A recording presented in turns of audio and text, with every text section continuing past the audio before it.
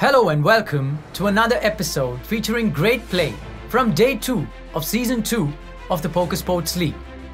The action folds to the small blind, where seated is Sumit Sapra of the Punjab Bluffers. He's really short stacked and desperately needs a double up. But in his way, in the big blind, is Bobby Zhang of the Chennai Thalaivaas. Let's see how the action unfolded. After a great start to the second season of the Poker Sports League, we move to the poker action from day two. Today's hand features some blind versus blind action between Sumit Sapra of the Punjab Bluffers and Bobby Zhang of the Chennai Thalaivaas.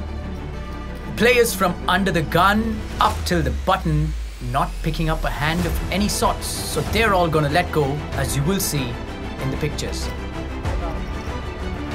Sumit Sapra in the small blind really needs some help because he's short stacked, so he's gonna look to double up. A great hand. He's got pocket nines.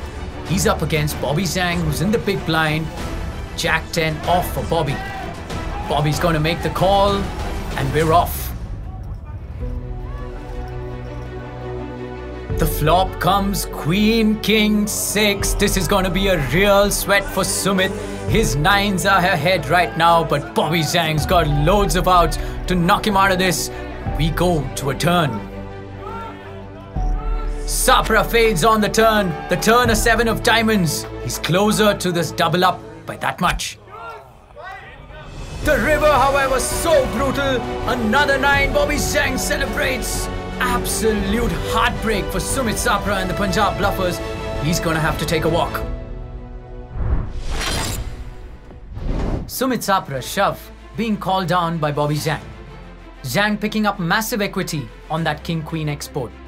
Sapra's nines managing to fade on the turn only to be rivered by that nine. Another great moment from season 2 of the Poker Sports League. Stay tuned into this space for more great poker action.